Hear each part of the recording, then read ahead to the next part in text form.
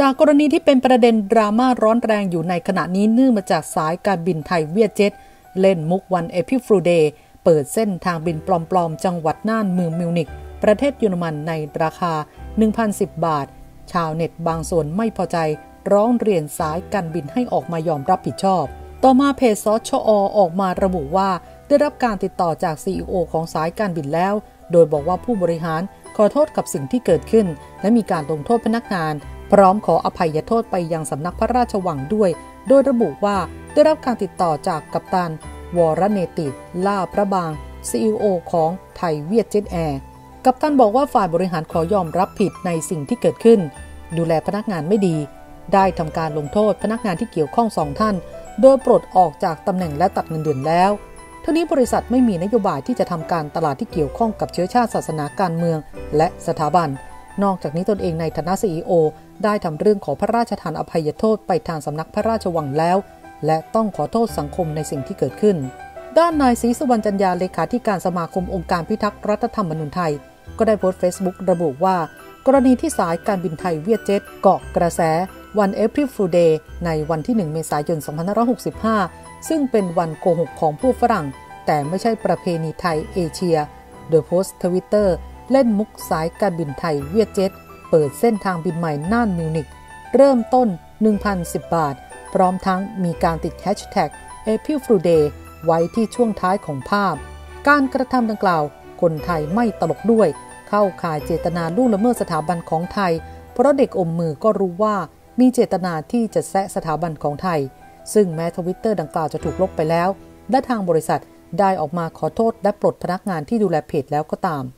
แต่แค่นั้นยังไม่พอ เพราะการกระทำดังกล่าว ครบองค์ประกอบตามความผิดมาตรา 112 ประกอบมาตรา 14 พรบคอม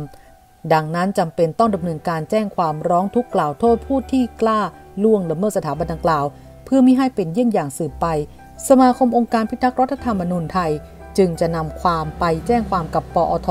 ณชั้น 4 ศูนย์ราชการอาคารบีวันจันทร์ที่ 4 เมษายนนี้เวลา 10 นาฬิกา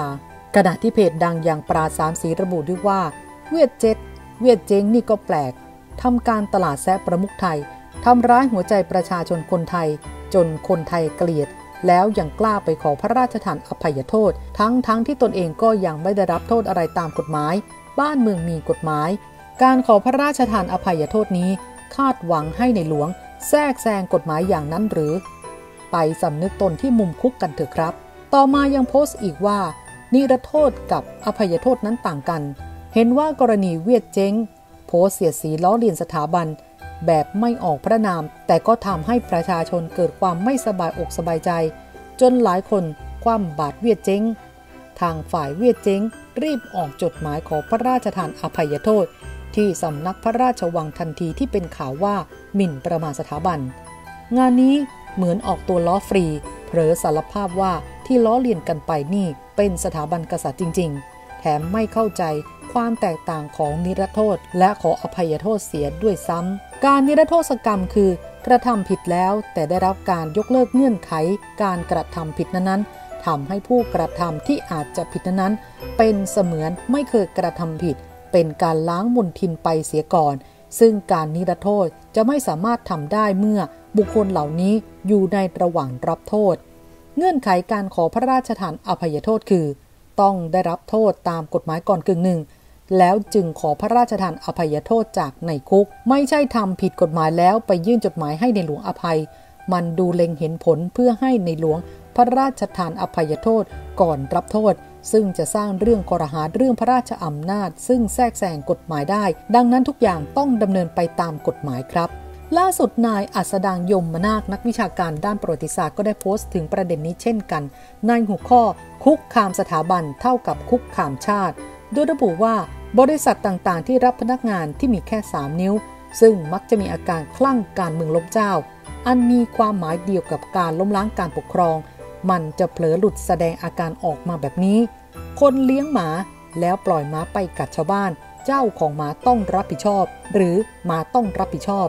ลูกหลานในบ้านที่ยังไม่บรรลุนิติภาวะออกไปทำร้ายคนอื่นพ่อแม่ผู้ปกครองต้องรับผิดชอบหรือไม่